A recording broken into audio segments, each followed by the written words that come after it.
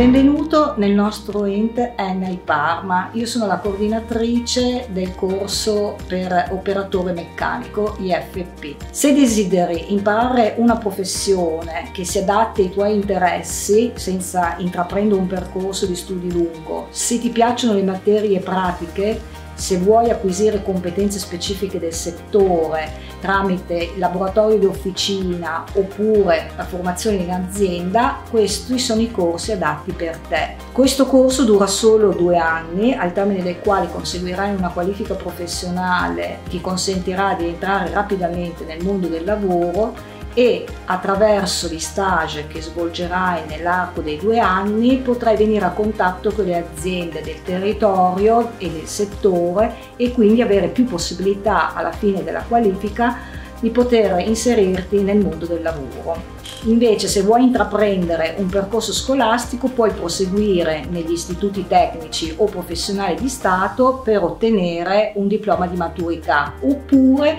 puoi frequentare un quarto anno della formazione professionale per ottenere un diploma professionale. Sono docente di officina meccanica, derivo dal mondo del lavoro.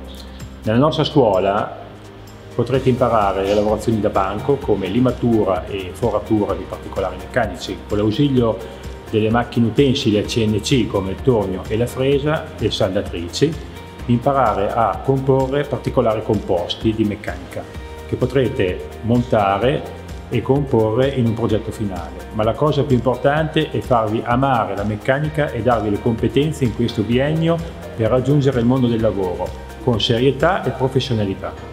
Sono il docente di tecnologia meccanica e disegno, mi trovo in questo ente da molti anni. I ragazzi imparano a disegnare un pezzo meccanico, imparano a saperlo leggere, nello stesso tempo lo riproducono nelle macchine utensili, imparano a conoscere anche il calibro, il micrometro, il comparatore, eccetera, cioè i principali strumenti di misura che loro adottano. Nello stesso tempo imparano a fare un foglio di lavoro e sicuramente saranno dei ragazzi prossimi a poter lavorare nelle industrie meccaniche.